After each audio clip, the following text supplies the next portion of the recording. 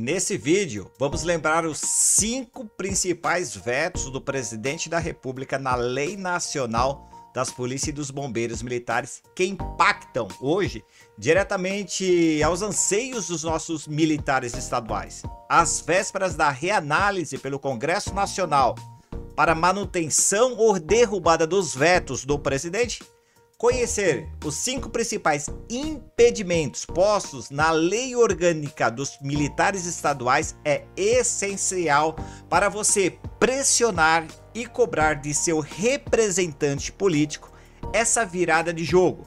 Mas antes, calma lá, você já sabe que eu preciso chamar a vinheta do canal.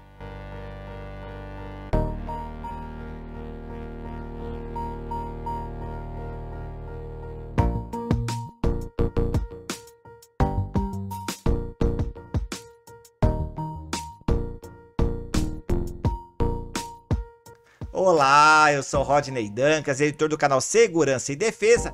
E nesse vídeo, no vídeo de hoje, vídeo rápido em 5, 6 minutinhos, vamos recordar, no meu ponto de vista, pelos comentários que vocês colocam aqui no canal do YouTube, os cinco principais vetos do presidente da República na lei nacional, a nossa lei orgânica dos militares estaduais. Mas antes, eu vou pedir para você deixar aquele like esperto e se inscrever no canal pois dessa forma, fazendo assim, você ajuda meu trabalho aqui no YouTube.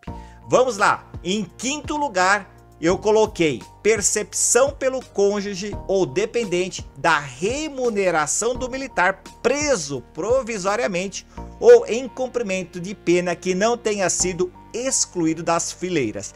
Por que, que o presidente vetou? Ele vetou porque ele disse o seguinte: ao estabelecer garantia para policiais militares e bombeiros militares da ativa e da reserva, esse é o grande problema, da reserva.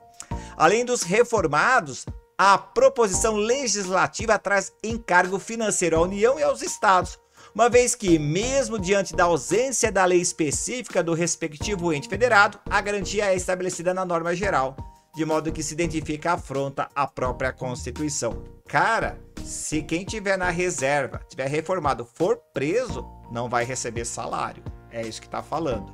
A lei orgânica permitiria isso, mas o veto tirou essa defesa, essa proteção do militar. Em quarto lugar, os integrantes da instituição militar, nos termos da legislação vigente do ente federado, terão reservado percentual de, no mínimo, 30% das vagas nos concursos para acesso aos cargos do QOEM, do quadro de oficiais do Estado Maior. Ou seja, quem é da tropa ia ter garantido no mínimo 30% de vaga, que a gente chama de CFO, tanto no bombeiro quanto no policiamento. E o presidente vetou, e ele falou o seguinte: o estabelecido de reserva de vagas e não limitação de idade para determinado grupo em detrimento de outros candidatos ofende a impessoalidade e a isonomia inerentes ao concurso público, contrariando o dispositivo do artigo 37 da Constituição Federal. Pois bem, gente, Olha só, o, a lei nacional previa que os integrantes dos bombeiros, os praças do, dos bombeiros, os praças da polícia militar poderiam ter 30% de reserva de vaga do CFO no quadro de oficiais do Estado Maior, mas não deu certo. Vai ter que prestar concurso, cara. É isso. Vamos lá, terceiro lugar. Se o ente federado não disponibilizar o curso que é requisito para promoção ou não enviar o militar para realizá-lo em outra instituição militar, se for atendidos os demais requisitos legais e houver vaga, o direito do militar ser promovido será preservado.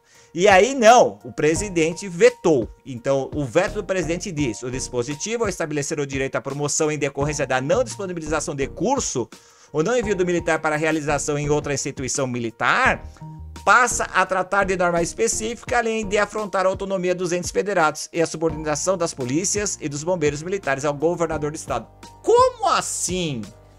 A lei nacional prevê, olha, se a administração pública não enviar o policial ou bombeiro para fazer um curso ou, ou não realizar esse curso, a promoção está garantida, basta ele atender os requisitos. Mas não, foi vetado. E aí prejudicou, prejudica demais os militares. Em segundo lugar, sistema de proteção social com os mesmos fundamentos dos militares federais, nos termos do decreto 667. Foi vetado isso. Hum, e agora?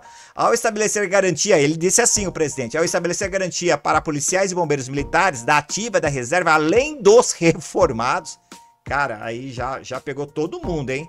É, o pessoal da ativa, da reserva e reformado. A, a proposição legislativa traz encargo financeiro à União e aos entes, uma vez que, mesmo diante da ausência de lei específica do ente federado, a garantia é estabelecida na norma geral, de modo que se identifique afronta ao, ao parágrafo 7 da Constituição Federal.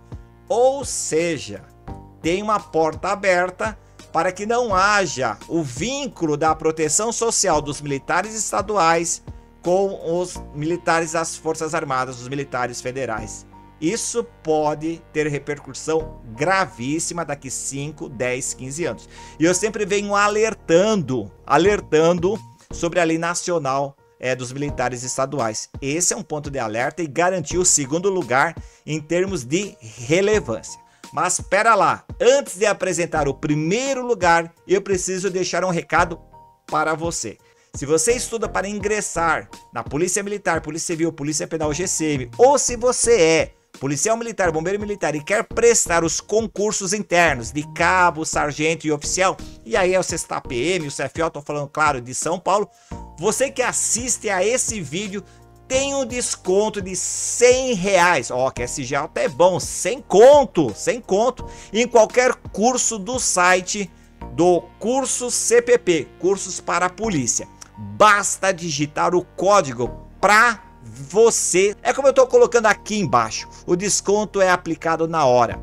O curso CPP tem cursos para as carreiras policiais militares, bombeiros militares, policiais civis, policiais penais, GCM.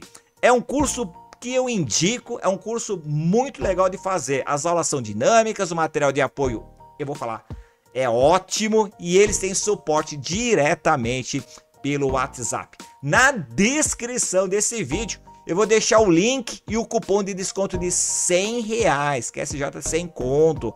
Legal, e olha só gente, eu andei olhando o site e vi que se você aplicar 100 reais em alguns cursos, o curso vai sair no valor bem, bem baixinho. Então aproveita essa parceria do curso CPP Cursos para a Polícia com o canal Segurança e Defesa. Agora vamos voltar para o primeiro lugar. Gente, primeiro lugar eu considerei todas as mensagens que eu recebi é, no meu WhatsApp, no meu Telegram e aqui no nosso YouTube. Aliás, eu falei Telegram, falei WhatsApp, na descrição do vídeo eu vou deixar o link para você entrar no meu grupo de Telegram. Lá, a maioria das pessoas são agentes da segurança, conversa em alto nível, o pessoal pergunta de QSJ, escala de serviço, remuneração no Pronas e tudo isso daí. Então, se você quiser entrar nesse grupo do Telegram, descrição do vídeo, vai lá, clica, já entra no meu grupo do Telegram.